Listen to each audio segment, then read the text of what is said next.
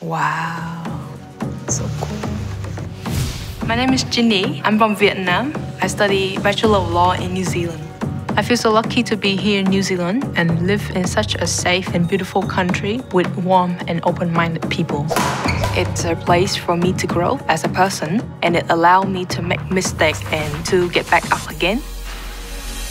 To me, this gown is a symbol of the warmth of the New Zealand people. It's a gift for our experience. It was made by the whole team. The power of community actually represents in education in New Zealand and it's very rewarding for each of us. I chose the color red for my kakahu because in Vietnamese culture, red means luck.